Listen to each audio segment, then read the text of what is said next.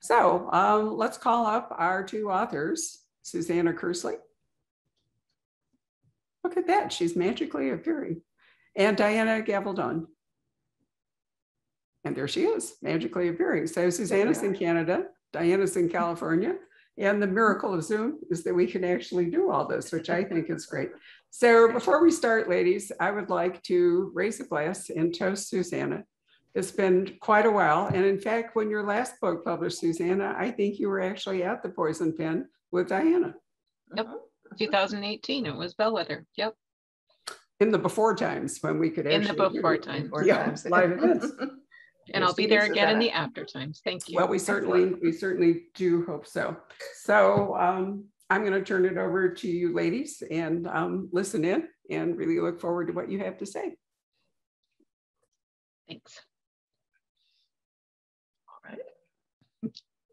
Right. Um, can you guys hear me? Yep, I can totally hear you. Yep. Okay, great. Yeah, I can't hear myself with the, the earbuds in. so- in? Oh, Okay, okay. that's better. All right. Mm. Okay, well, congratulations, Susanna. This is wonderful. And Thank so nice you. to see you again, even if not in the flesh. I know, it's really nice to see you too. I've been looking forward to this so much. Yeah. Yeah, well, I enjoyed the book immensely and so forth. And I was wondering what led you to uh, to Scotland, as it were, especially Jacobites. and so, you know, things like the Act of Union and so forth. I mean, I understand the appeal. Right. Have you got anybody to pay you to write about it?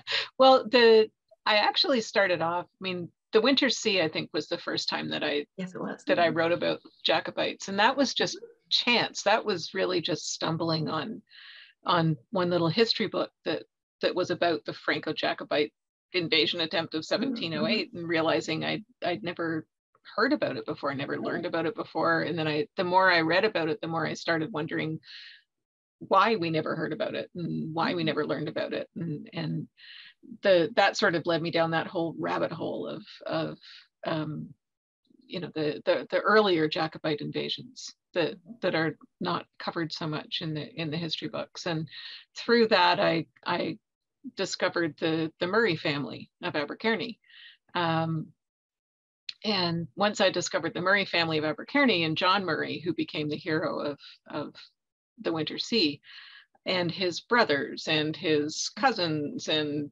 uh, Colonel Patrick Graham, who was his uncle, and, and all these real life characters um, just kind of stepped off the pages of my research and became very real people to me. Mhm, Um, and I just, they, their real life adventures kept leading me into more and more research, which kept leading me into more and more story ideas. That- That's kind Um, of how it works. Yeah. it's that's pretty yeah I, i'm sure you're really familiar with that and um, Yeah. so so i had written the winter sea and then colonel graham himself wouldn't stop talking in my head which i'm you know it, and so that led me into a book called the firebird which carried on into the, the jacobites into russia but again, Ooh, I that was an hadn't realized one, yeah. hadn't realized they had a, a whole community there. Um, but the the Vanished Days was really uh, it the the sort of germ of the idea started when I um, found out that Colonel Graham it was it was again doing research on that family and finding out that Colonel Graham had applied to uh, to collect the wages that were owed to his son Jamie.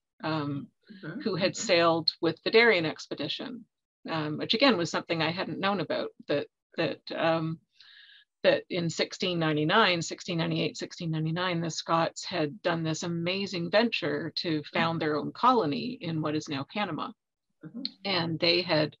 Um, it was a brilliant idea, fascinatingly brilliant idea uh, uh, to works. to establish yeah to establish a colony where they would bring ships in on the Atlantic side and carry the cargoes across land to ships that were waiting on the Pacific side. And by doing that, they would sort of cut out the trade of the, the English East India Company and the Dutch East India Company and all these other Mhm. competitors. And of course, King William, who was both Dutch and the King of England, um, didn't think that was such a great idea. So he he undermined their efforts all the way through. Um, Mhm. and um, so that that was a fascinating episode of history and the collapse of that venture which was engineered you know deliberately engineered by the king um, was what led to in large part the the treaty of union um, and because it bankrupted Scotland. It, Yeah. it just, you know, it, it, and um, so it was that sort of tumble of events that that and finding out that Colonel Graham had had a son involved in that Uh-huh. that led me down another rabbit hole that I thought, well, this would be a good this would be a good subject for a book, and it lets me continue on with my Abercairn people and and um, you know, so that's kind of where that starts. It all starts with a you know a, a, what if and a, yeah. a person that you want to follow. Yeah, That's right. Uh-huh. Oh, that's exactly right. It all comes down to character. yeah, Apparently, I'm doing a, a Surrey panel this year with uh, with the topic, you know, what comes first, character or plot? and that what kind is it? Is it characters for you? That come, it's it's It's always characters, characters, always yeah. characters. Yeah, It's always characters. I mean, the plot is what the characters do, so you can't have a plot Right. if you don't know who's doing it. but I for me, I never know.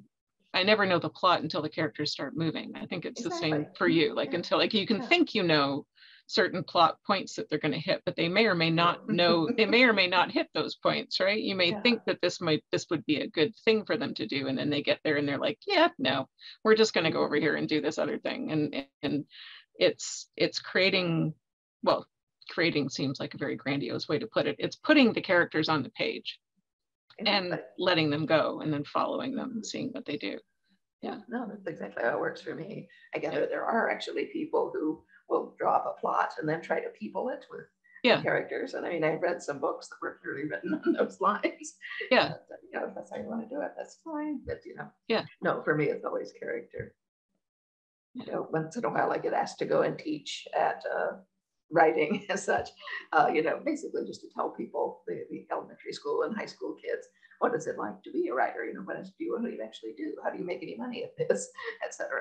And so I just end up telling them everything about publishing and all the things you could do besides write and so forth. But it gets down to how do you write a story?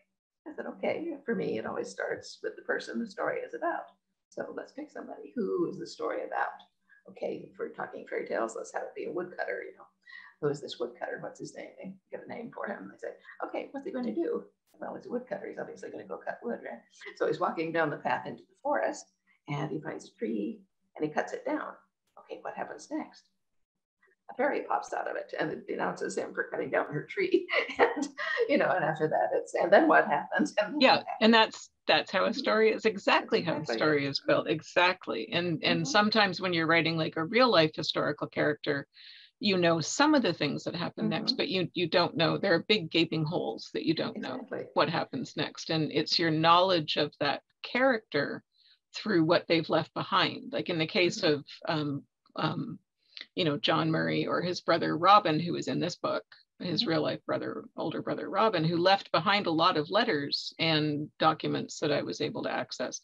I know some of the things that robin was doing but i don't know other things. I know some of his dialogue because he in some of his his documents he actually wrote conversations that he had which are fabulous. He he actually you know there's a speech that he gives to to my hero adam um, when he is he's asked to do something that goes against his moral character and he gives a very indignant speech back and it's almost word for word what he wrote at the time and it's kind of nice to be able to put that back you know on the page for him but so i know some of the things that he did and said but then there are other holes it's it, where i don't know what he was doing so it's your knowledge of his character and what he would have done and might have done you know that you that you just sort of fill in that's kind of fun. It's like Yeah. a like a puzzle it's like piecing a puzzle i love puzzles right so it's Mhm, kind of like yeah.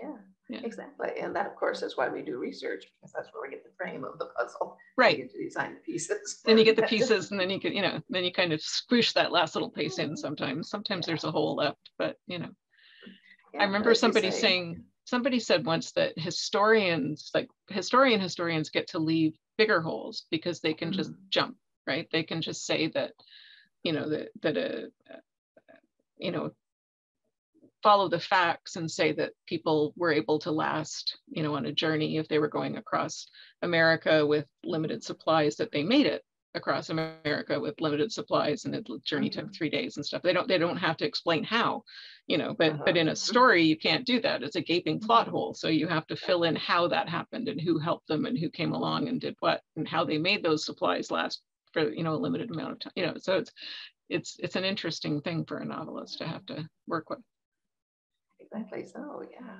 But it is kind of a treasure trove when you deal with uh, obscure people and you find letters and uh, journals and things like that. On the other hand, when you're dealing with more public figures, there's a lot more of their actual speech know, kept in the historical record but you know that uh, suffers then from the bias of inclusion you know who chose what to write down about what they who said. kept what and and and sometimes you know sometimes you're also dealing with like you know descendants of the the, the more public figures who don't want their their ancestor to be portrayed in a certain way and i'm very fortunate with the the murrays that um the abercairny murrays and the and the inchbrakie grahams um both of whom uh, like their descendants are just absolutely wonderful. The Abercairny Murrays still live on Abercairny um, and um, actually have a have a link to to um, uh, Outlander, which I can't can't.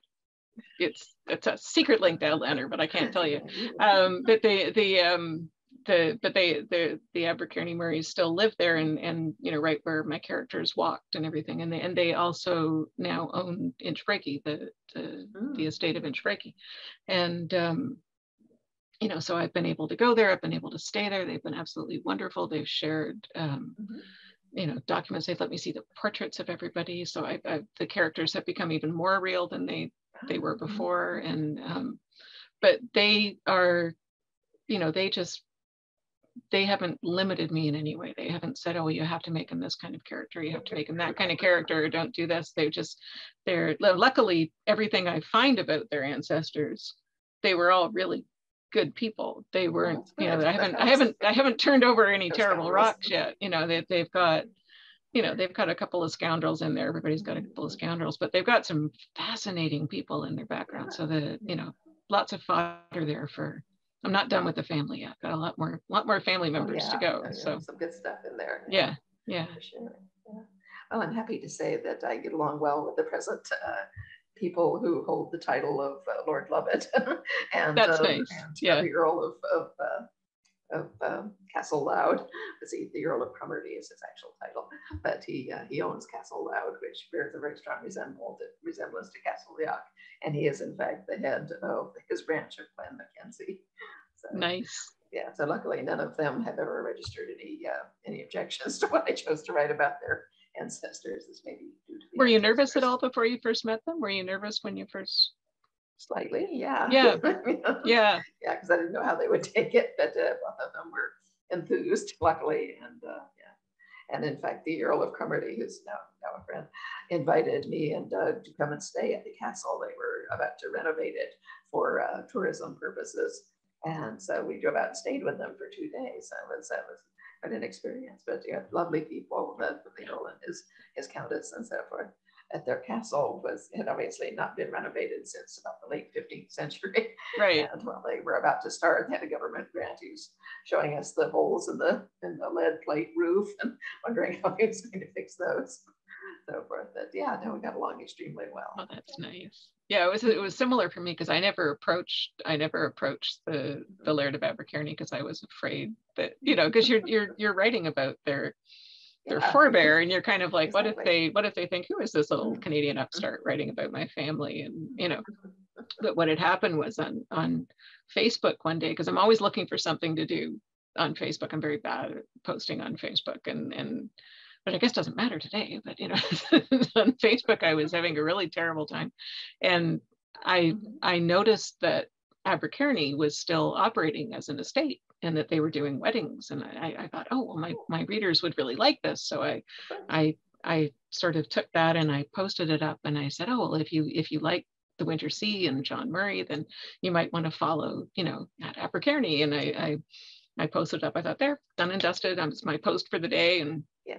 And I went to bed. I didn't think anything of it. And I guess overnight they got a lot of followers and and and everybody on my post was was sort of saying, Oh, I love John Murray. I love The Winter Sea. It's my favorite book. And and they were probably wondering who it what what what what is going on. And then a couple of days later I got a little message, a little private like ping message, you know, and it was like, Hello, Susanna. You know, that, that my name is is is Daniel and and uh, you know, my wife is Anna Murray, and she is a direct descendant of William Murray, who was John Murray's brother. And I'm like, oh darn, you know, you know it's, and uh, we've read your book, The Winter Sea, and and, and they it turned out they liked it, thankfully, oh, and and that started this, and and they are very interested in family history as well, oh and the history yeah. of the family and of that mm-hmm. period, and mm-hmm. so they've been nothing but helpful. And every time I go there, they you know they and their children just you know, I'm, I'm loaded into the car and I'm driven wherever I want to go and, and all these places I would never have thought of going. And, and I get taken around a lot of um, now, now every time I go, you know, we'll be going out to to various battle sites and everything and looking for different things and everything we're going by now is oh well you know that outlander was filmed over here and outlander was filmed over there and this church they used for the outlander for something and it's, it's, it's really quite funny. And everybody was very impressed that i knew you. They were extremely impressed up in that up in that section of perthshire that you know oh, I'm very, very flattered but uh, it's uh it's beautiful countryside absolutely beautiful countryside so. Mm-hmm. I keep looking now on the on the show. It's like I know that church. I know that church. I know what scene happens there. Exactly. Yeah. Well, the thing is, they can only film within 90 miles of you know where the studio is because that's right. You know, one day's journey there and back for all of the trucks that you need to take in order to film anything. Because yeah. uh, they had asked, uh, well, the, the Castle people, the Castle Leod, had asked, right. you know, could they maybe come and film at Castle Leod? And I said, I'll suggest it to them, but I don't think so. anyway, they said, well, no, he's way up in Dingwall. No, there's no way we could get up there. So they built Castle Leod instead, or borrowed Castle Doune. There's that beautiful little church at Tibbermore that, um, yeah, yeah. you know, where the battlefield is and mm-hmm, everything mm-hmm, that they mm-hmm. used. And it's just, well, it's, it's nice. It's nice for the tourism of the area as well. Absolutely, so, yeah. Mm-hmm. Yeah. Mm-hmm. Really fun. Yeah. They, see, have you contributed to Scottish tourism? Do you know? I don't actually. Well, I, I think carry people. Yeah.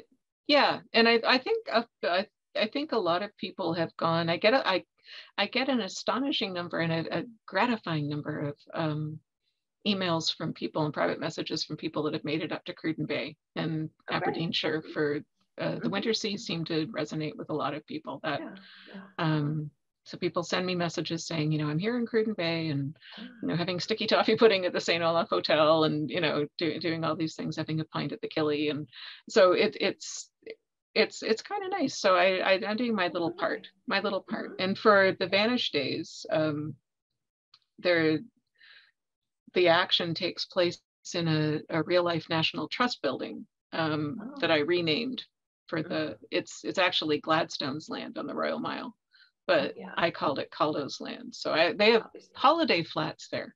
Um, really? And I stayed in the, the flats for like a few years running. So not continually, but I went back again and again and again mm-hmm, mm-hmm. um, into the same flat. Um, and it was really neat. To be the first time I did it, it was fun because um, it seems like a really good idea the first time you do it. You think, oh, this is fabulous. This is like this, you know, 15th century building, the 16th mm-hmm. century building um, in the Royal Mile, and it's it's one of those old little tiny narrow narrow turdy houses, and and uh, it's a you know tenement going straight up, and and they've got it made into a beautiful museum on the well at that time it was like two floors with museum, and now I think they've done the the third floor, and uh, and then the rest is holiday little holiday mm-hmm. flats that the renting of the holiday flats helps fund the, the property. Um, so I thought, well, I'll stay in the holiday flat and then I'll, I'll be writing in the building that I'm researching and setting the book in. That's a great idea. Yeah, yeah great. It, which seems like a fabulous idea until the museum closes at like 5 p.m. and everybody leaves and you're there by yourself in this like 16th century building in the middle of the Royal Mile in the dark by yourself because there was nobody else in any of the holiday flats except me. And it was a little spooky. But yeah. yeah, but I can, I, I'm here to tell you that if there are any ghosts in Gladstone's land, they're entirely friendly because nothing bothered me the whole time I was there. So I saw one mouse and no ghosts and and everything was lovely. And they have a like the up, up getting up to the um, holiday flats. There's a an old stone turnpike stair, and you know it's just it's just a beautiful place. But anybody that wants to get a feel for what that place is like, you can actually go to the the setting and um, when I was staying there, I went down one level into the museum and walked into the museum and one of the portraits on the wall looked really, really familiar. And it turned out it was uh, Captain Gordon, Captain Thomas Gordon, who is one of the characters in the book. Yeah. So I thought, well, uh, definitely the right place to be writing about. Yeah. So, absolutely. Yeah. But it's, yeah, well, just a stone's throw from the castle. So it's a good place to stay. It is, yeah. yeah. Yeah, one of the other things that I like so much about your books, and it's also research based, is that you know so much about the actual laws of the period and how they would apply. And you used one to good effect, you know, with the, the, the woman trying to get her her husband's, you know, her essentially post-mortem benefits, but not right. being able to prove he was dead. Yeah, or not being was, able to prove she'd been married to she'd him. been married to him. Yeah, because yeah. it was just tricky. It's it's it's not. It wasn't easy, and it was a it was a difficult thing because the that was one of the things that the English did um, just after the Union happened in the spring of of uh, 1707. There was a lot of unrest in Edinburgh because it had been kind of snuck in sneakily this union, um, uh, and there were a lot of people not happy about it. And mm-hmm. the the English sent up the equivalent money. It was called the equivalent, and it was designed to pay off a whole lot of things. Mm-hmm. Um, mostly the the lords who had voted for the union in parliament but but it was also the the story was that it was designed to pay off you know a lot of different things um, mm-hmm. but they were paying the wages as well that were owed to the sailors that had died mm-hmm. uh, in the Darien expedition. So people had to come forward and, and claim them and say that you were, mm-hmm. you know, you were the rightful heir of soldier X or, mm-hmm. or sailor X.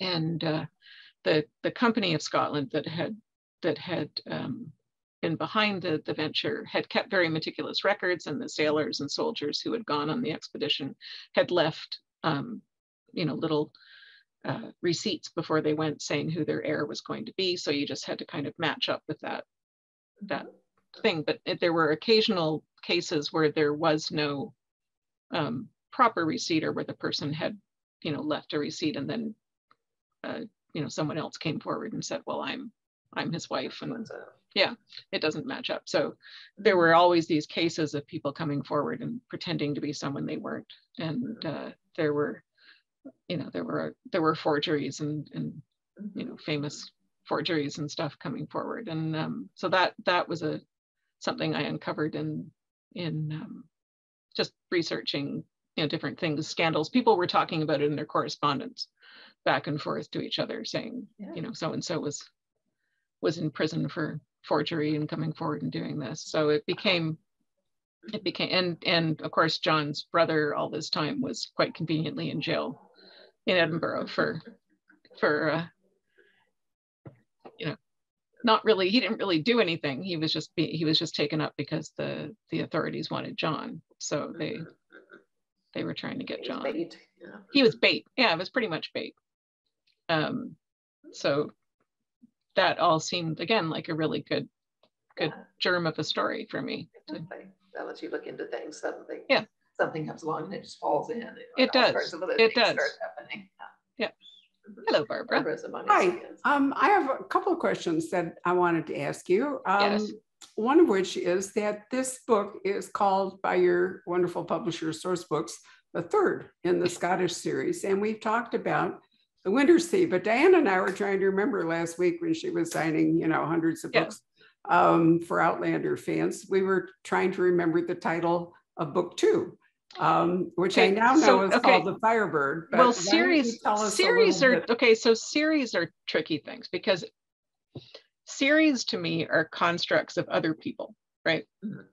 Unless I mean, like Diana controls her own series. Like she she sets, you know, the she knows the order of her books and she makes them the way she wants them. I write books and people configure them into series. And what happened was I wrote The Wintersea and then I wrote what I called a sort of sequel to The Wintersea, mm-hmm. which was Firebird, because Firebird had different, I write dual time stories for, you know, like, so Firebird had had different modern day characters, but the same historical characters. It just continued the historical story. Mm-hmm. So it wasn't a true sequel sequel. It was like a sort of sequel sort of companion novel. And you could read them in order or you could read them out of order, whichever way you wanted to. Mm-hmm. But on Goodreads, where readers like to put things in category, you know, readers like to categorize things and, and put them properly on their bookshelf a certain way so they know how to find them. They created a series called the mm-hmm. Slains series because Slains Castle featured in both things. So mm-hmm. that was a reader construct, it wasn't me. So they said, so startling. yeah, so they called it the Slains series. And I don't interfere with what readers do. So No. that's a, that's a, you know, that's, that's, the readers wanted to call it the Slain series. It was the Slain series. Mhm. So this book I call The Vanished Days is a sort of prequel sort of companion book Mhm. um, because it has overlapping action with the Winter Sea. It, part of it happens in 1707. It's a dual time, but the present day is in both both sections are in the past. There's no modern day timeline. So right, so like both Mhm. sections are in the past. Um, the the one section is in 1707, taking part at the same time as a lot of the action of the Winter Sea with a lot of the same characters. I mean, like Colonel Mhm. Graham is weaving, he's mentioned weaving in and out. Um, part of it goes backwards, and you see some of the characters that you're later going to see in the Winter Sea and the Firebird and stuff like John, um, John's brothers, John's cousins. Um, so there is there are connections so it's a sort of companion book like you know it, there's there are connections um but it's not a straight prequel and it's not a straight you know Mhm. it doesn't come like one two three straight order. No. But it's written you know i wrote it You're after. on, Yeah. So my publisher- my publisher has decided that because Slains isn't in it they're going to retitle the whole thing the scottish series. And since this is the third one they're publishing they're calling it number three in this so i just i just stay out of it. I just write the books. Because because technically you could i mean like i would i would argue that a desperate fortune is like a satellite book of the scottish series yeah, right? I would've thought because that. anna anna who is in the firebird Mhm. and sort of the winter sea um is in Yeah, like she makes an appearance in a desperate fortune um the vanished days has links to bellwether the van like you know so it's it's Mhm. it's hard with my books though because i i don't intend for this to happen but Mhm. What happens with my characters is once they once they're on the page i don't really have any con- or off the page they, i don't have any control over what they do right. and Mhm. i mean i diana understands me they just they just they just are they're wandering around back are, in yeah. here somewhere right. and I'll be writing another book, and what happens is they just wander back in. And Mhm. um, there's a character in this book called Gilroy. And I was literally, he came into this the book and he started doing his thing. And I was I I was several chapters into the book before I finished out, or before I figured out where he connected in my, you know. Susanna verse, where he I was like, oh, you know i know who his parents are now i know where he comes from and and but it took me that long to figure out where he came from so one day somebody and it's i know it's going to be a reader and not me because there's no way my mind would be able to do this but some some reader is going to do one of those boards with yarn and figure out where all my characters go Yeah. Mhm. and what books they wander into and Mhm. and and everything um it's um but so the scottish series the slain series whatever you want to call it these three books are connected to each other but you don't have to read them in any order. They're not a they're not what i it's not like it's not like the outlander series where you really do want to start at the beginning and build all the way through because you know it's that's like outlander is like building a castle. It's you want to start with the bare ground and build build up through the foundation and and you know and then start putting on the ornamentation and you know like it- it's otherwise you don't know what the shape of, of what you're looking at is. Mm-hmm. And it's whereas with mine it's like you can walk over here and pick this rock up and just look at it and you know it, it's it's not going to affect the other rock it's more like reading Anthony Trollope it's just you're all in one big village and the characters are going to walk into mm-hmm. to one house or another house right so Right. Well, I love your answer, but in truth, I asked that for a really mundane reason, which is I just thought that people who were not new to your work would like to know there are other books that you might like to read. My personal acquaintance with Susanna, and still my favorite book, is The Shadowy Horses, which takes place in Northern England. And at that time, Susanna's books were published in the UK, not here in the US. And we used to import them, um, a lot of them and I kept thinking, you know, at first I hadn't read it and I began to wonder why we were selling so many copies of this amazing book. So I did read it and I'm not going to spoil it for any of you, but Susanna does something that I really approve of uh, in the shadowy horses that you don't often meet in historical fiction. Um, I love it. It's a missing Roman legion. We're in the north of England. Has nothing to do with what we're really talking about here, but what a great book.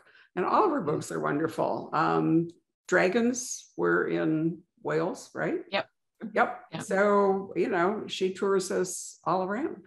Now, my other question, which I really wanted to ask you, um, I'm familiar with Diana's writing process, which is, I like to think, unique to Diana. Diana probably likes to think it's unique to Diana. Yep. Um, and it involves um, writing scenes and then working out connective tissue and eventually yep. figuring out a shape. She can describe it better than I can. Yep. But uh, Susanna, you know, are you a more linear writer? Do you, do you, I, this is a question that I know people are going to ask, so it's just easier to ask it now. Do you begin at the beginning and kind of motor to the end, or do you have a more, um, just things just sort of happen and you piece them together? I'm a, I'm a mix. I'm not as, I don't have the the kaleidoscope I, I, I, would say I don't have the kaleidoscope that, that Diana has going on, um, but I do get pieces. I, I have the puzzle. We both have this sort of mm-hmm. puzzle. Um, the puzzle analogy is great, you know, where you find the edges and then you're filling in the middle. I get the first line first. Um, that's when I know I have a book. I'll start to see the characters first. Um, it's usually I see the characters first and and I don't quite know where they fit. And then I get a first line. And when I get a first line, I get the voice of whoever's speaking that first line. And then they just start talking more and I start taking notes. And sometimes the scene that I'm seeing is not the first scene of the book. Um, the first line usually is. It's close to the first part of the book. Um, the in in this case, the first line was the very first line of the book, but the but sometimes it's like midway down the first page or in the first chapter or whatever. But the um, the what'll happen is that I'll, I'll sometimes get a, a scene intact that that belongs towards the end of the book and I know that it's going to happen towards the end of the book, but I don't know how I'm going to get there. So I just write it down and stick it away and, and write towards that. But I tend to write linearly towards that and then just sort of leave it over here.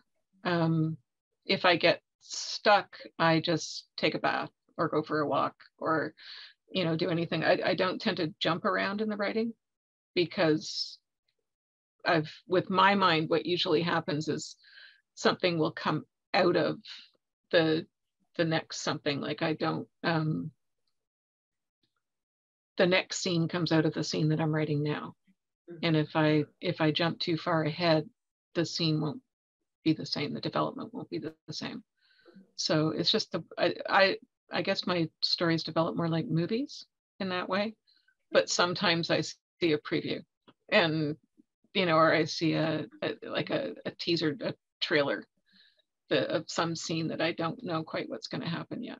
It's, it's like a, you know, when you're looking at, at things for, or like a TV series and they show you a little glimpse of what's going to happen next week and you don't quite know what the whole show is going to be yet, but you know that you're going to get there. that's kind of what my process is like. It's very Yeah, visual. I shouldn't have, I shouldn't have spoken for you, but I was trying to introduce a little background there. So Yeah. do you want to mention briefly your own process? Who, me? Yes. Briefly, Oh. sorry. That's a terrible joke. right. No, but it's neat. It's neat. No, uh, yeah. Uh, no, essentially, I don't work with an outline and I don't write in a straight line. I write where I can see something happening. And what I need to write on any given occasion is what I call a kernel, which is uh, a visual image, a line of dialogue, scrap of music, an emotional ambiance, anything that I can see or sense concretely, and especially one that comes with words. You know, if I think of a phrase or description or a line of dialogue while I'm thinking of this, then that's where I start is with that. And uh, so I write that down and I sit there and stare at it. And I start fixing it up, you know, moving clauses around, uh, replacing the adjectives, taking out the adjectives, putting in an adverb. I love adverbs. And, uh, and, you know, generally messing around with it. And meanwhile, the back of my mind is kicking up questions like, um, where are we? Where is the light coming from? What time of day is it? Who else is in the room? That sort of thing. And one of those questions is going to sort of bring it to life, and I can write the next line. so it just proceeds by this little sort of, you know, it's not exactly a dribble, but you know, a continuing uh, gradient, let's say, of idea and and dialogue and so forth. And you know, when you can hear the people talking, then you know it gets much easier. Yeah, but it, it's it's like that. It's like I, when I stop, it's because I I don't I can't see. Mm-hmm, That's like to me. That's what when I get blocked, it's because I don't know what I'm looking at. Um, I'm I'm blind in the book, and um, I find those are the places where I need to go do more research because I'm I'll, I'll be literally almost standing in the middle of a field or standing in the middle of the street. And it's like I or at, at a table and looking down at a plate going, I, do, I don't know what I'm looking at. And I, Mhm. I have to go find out. And that, um, and I'm very, I'm very, um, I'm very tactile. I like to have my, like, a, this is my, this is my fidget widget. This is, um, this is, this is, um, this is in the book for anybody that's reading the book now. Yeah. Um, those are, that belongs to Captain Gordon. Um, and these actually do come from Leith in they're from the mid 1600s. So you can look back and see those.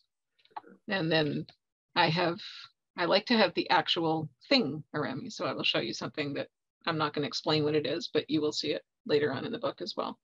Mhm. So I have this as well. Let's try to get it closer so you can see. But I have Gorgeous. that as well. So, you know, I, I like to have my little things and I like to hold them and feel them while I'm working. And sometimes I get, you know, inspired by just holding this, this stuff as well. So, Well, we all know, since Diana's going to be reading from it, uh, what her next published book will be, which will be publishing in November, end of November, if all goes well. But Susanna, before we switch to uh, reading from bees, what is it you're working on next? Because we're just getting to Vanished Days here, but you know, that's a process that you completed some time back. So I'd like to November, the yeah. readers with the hope that there's a work in progress. oh yeah, there's always a work in progress. It just takes me a long time. Um, but the, um, I am working right now. I'm not ready to, to I'm way not ready to, to let go of my Murrays and my Grahams. Um, so instead of going forward with them, I am going backward with them. Um, and I am taking them back to 1612 um, to uh, the year that, uh, well, King James the um, the sixth and first is on the throne, um, and his son Prince Henry, uh, who was King Charles the First's older brother, has just died under mysterious circumstances, and Prince Henry's closest um, companion, closest servant, was in real life Sir David Murray of Gorthy, who was an Abercairny Murray and um, he was also a poet. And my um, so my my hero in the book is a is a created hero, um, Andrew Logan, who is being sent up. He's a messenger. He's one of the king's messengers, which was a, a group of and they're still around. The king's messengers. Um, there can only be so many of them, and they they are one of the oldest branches of the the service, and they they carry the the king's messages, and and they also were the people that were sent to apprehend people as well. So he is being sent up from London to Scotland to fetch back Sir David to London. Um, and things are not going to go as planned um, because they never do with an Abercairny Murray. And um, and uh, that's where we start. But I, you know, I can tell you that uh, Andrew Logan is a forebear of one of your favorite characters, Barbara, who is Robbie from uh, the Shadowy Horses. Um, That's wonderful news, Susanna. So, and for those of you who are wondering what you're going to read while Susanna is writing this book, I want to recommend an author that Diana and I both really, really enjoy, Dame Denise Mina, who has mm. just written an astonishing book called Rizzio, which oh, yeah. um, takes you back to Mary Queen of Scots when she was married to Lord Darnley, who's a real um, um, I won't say a bad word here, but nonetheless, that's who he is. yeah. And she's pregnant and there is a really terrible murder in Holyrood Castle. And uh, it's just, it's a wonderful book. So that's something you could read to kind of prep yourself for what well, Susanna has to say. Right? That is actually King James once said that that was, that murder was the reason that he um, grew up with his, his um, fear of, like not fear of, but his dislike of, of blades, right. knives, because of the murder of Rizzio. And I will leave it to you to, to discover that. why. Oh, I'm sorry, Susanna. Um, I've been asked to repeat it. Her name is Denise Mina, M-I-N-A, and the book is called Rizzio, R-I-Z-Z-I-O, because the murder victim is David Rizzio, who was um, a uh, companion to Mary Queen of Scots.